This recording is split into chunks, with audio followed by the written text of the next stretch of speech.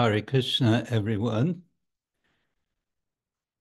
My humble pranams to all the Vaishnavas and Vaishnavis at ISKCON Communications Europe 2024. I'm grateful for this opportunity to briefly address you who are participating in this conference in the context of discussions about ISKCON's engagement with environmental issues, my aim is not to offer definitive statements so much as to raise questions in a spirit of friendly challenge and stimulation for discussion.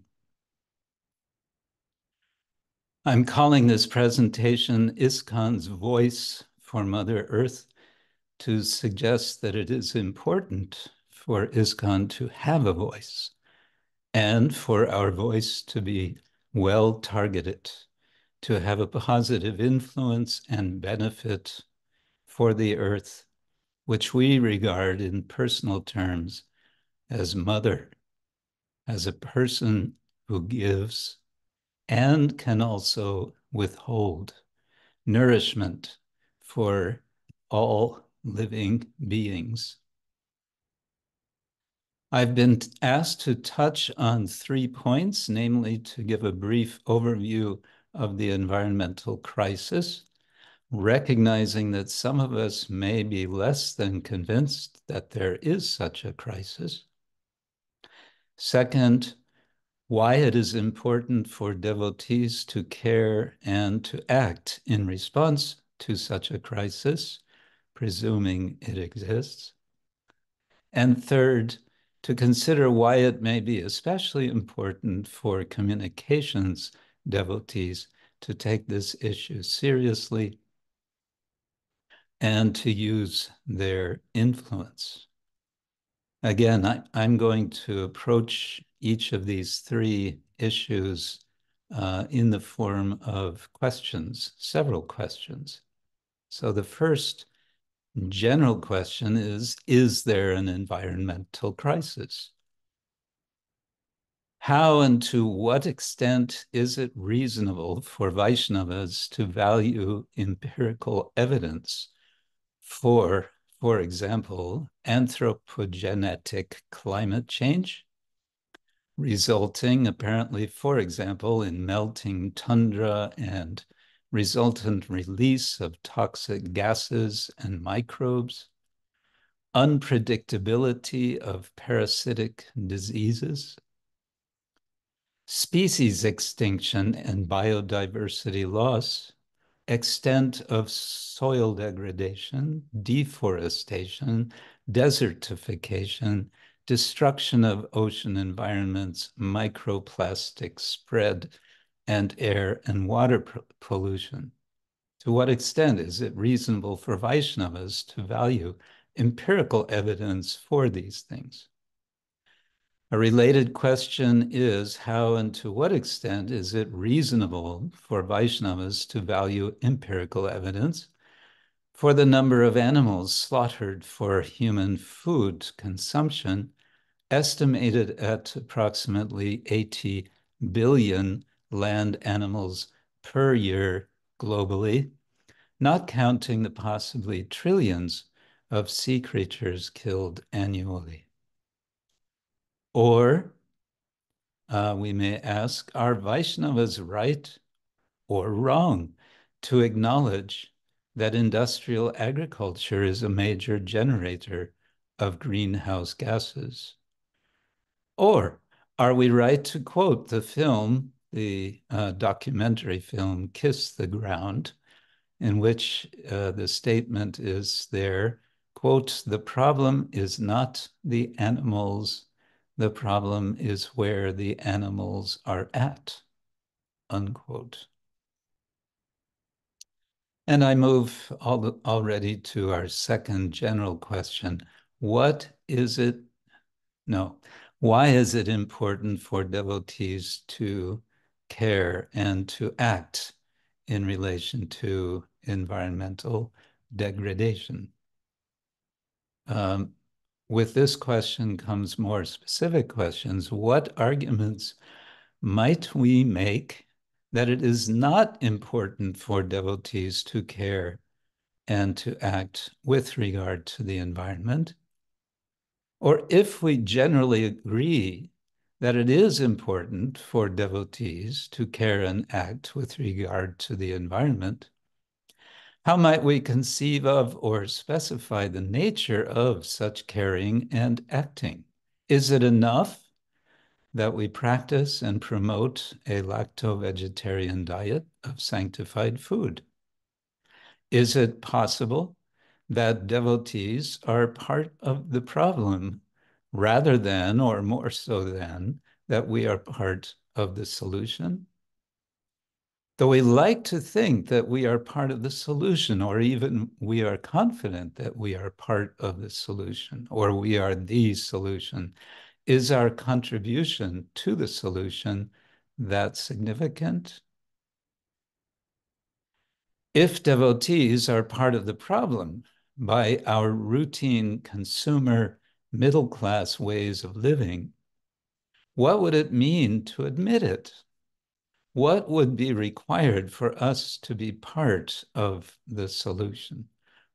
What would it require to be a significant, even measurable part of the solution? Further, is it enough for devotees to care and act for the environment to continue or expand present activities of our mission, such as book distribution, prasadam distribution, Harinam Sankirtan, farm development. We presently have some 100 farms worldwide with some 5,000 cows, 4,000 in India, cows and oxen, uh, keeping in mind that it's been uh, reckoned that we would need some 68,000 cows and oxen uh, to supply our present temple deities with protected cow's dairy. Do we need to be offering so much dairy? And the same question may be there for the development of Varnashram. Is it enough for devotees to uh, expand, to continue or expand present activities of Varnashram? Or is it imperative for devotees to engage more directly in environmentalist initiatives on local, national, or regional levels? By initiating research projects, connecting our farm projects with, for example, the UN Sustainable Development Goals, as Radhakrishna Prabhu is now doing as a PhD research project in connection with New Vrajadham, Hungary, uh, or uh, by creative engagement with social and mass media. Which brings us to our third main question, namely, why is it especially important for ISKCON communications devotees to take this issue seriously to use their influence and so on. Is the issue important because we are worried about the survival of our present communities in troubled times? If so, can we communicate the value of learning from other, more experienced groups, such as the Mormons, about emergency food storage, or the Amish or African villages about farming methods, about simple living? If so, can we communicate that we, as a society, have yet to grasp the necessity of developing genuinely sustainable farm communities for which we may not yet have any viable models? If so, can we communicate by example that plain living and high thinking can be an alternative, can be an attractive and satisfying way of practicing devotional service, devotional life. Or is it important because we are confident that we uh, can have significant influence to change the present direction of environmental degradation if we focus on communicating our solutions to the public, such as uh, communicating the Ishavasyan principle and communicating Lord Krishna's, what Srila Prabhupada calls the peace formula. Or is it important because ISKCON communications devotees can favorably influence the direction of ISKCON with regard to the environment by focusing on the importance of caring and acting for the environment within devotee communities?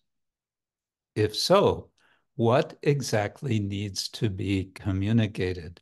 How would environmental education for devotees look?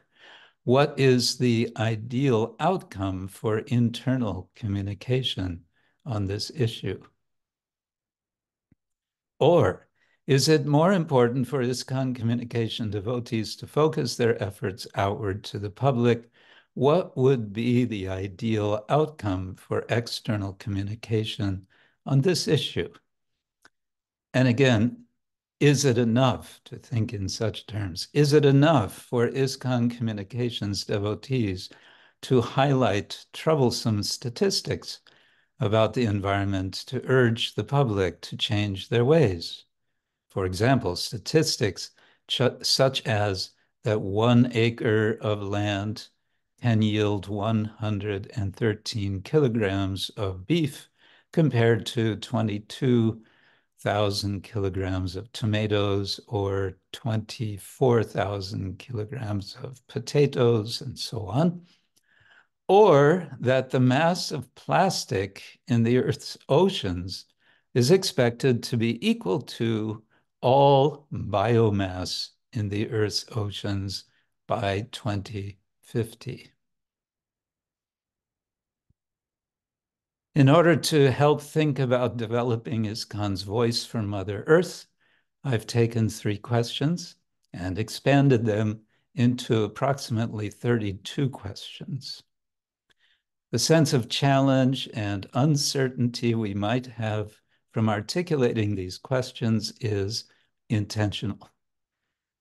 I want to suggest that we may have a lot of homework to do if we want ISKCON to truly become positioned in meaningful ways with regard to present concerns about the environment.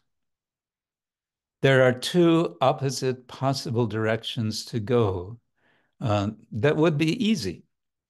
One is denial of climate change, denial of soil depletion, denial of desertification, and so on. The second direction, opposite uh, to the first, is the doomsday, doomsday way of thinking, that the end is nigh, there is nothing that we can do, and in any case, we don't belong in this material world. Both scenarios justify status quo thinking we chant Hare Krishna. We keep a lacto-vegetarian uh, diet. We have a few farms with a few cows, and we invite a few people to visit them.